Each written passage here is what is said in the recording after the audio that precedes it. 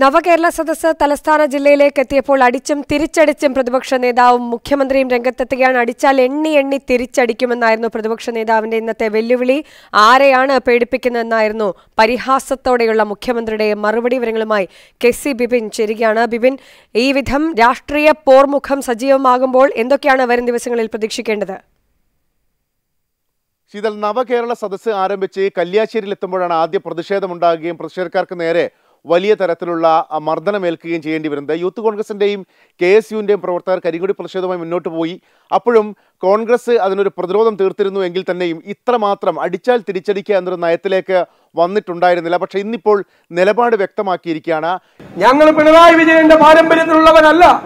ഒരു കടലാസ് പോലും ചുരുട്ടിയെറിയരുത് എന്ന് യൂത്ത് കോൺഗ്രസ് കെ എസ് യുക്കാരോട് പറഞ്ഞവരാണ് ഞങ്ങൾ. ഞാനിത് മാറ്റി പറയാൻ വേണ്ടിയിട്ടാണ് ഇന്നത്തെ മാർച്ചിൽ പങ്കെടുക്കുന്നത്.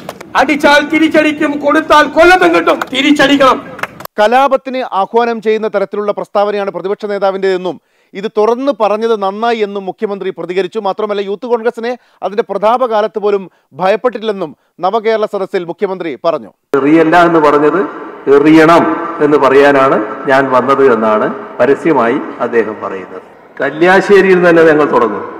ഒരു സംശയവും വേണ്ട.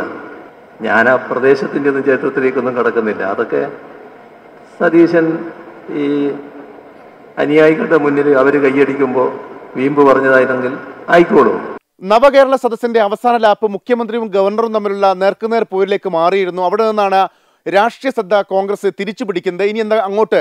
കെ പി സി പ്രസിഡന്റും അതുപോലെ തന്നെ പ്രതിപക്ഷ നേതാവെല്ലാം നയിക്കുന്ന D G P office march ഉൾപ്പെടെയുള്ള വലിയ പ്രതിഷേധ പരിപാടികൾ കോൺഗ്രസ് ആസൂത്രണം ചെയ്തിട്ടുണ്ട്. സ്വാഭാവികമായും നവകേരള സദസ്സിന്റെ മേന്മ കുറയാതിരിക്കാൻ വേണ്ടി ശക്തമായ പ്രതിരോധം സി പി എമ്മിന്റെ ഭാഗത്തു നിന്നുണ്ടാകും. ഏതായാലും വരും ദിവസങ്ങളിലും തെരുവിൽ തന്നെയായിരിക്കും നേർക്കുനേർ പോരാട്ടം.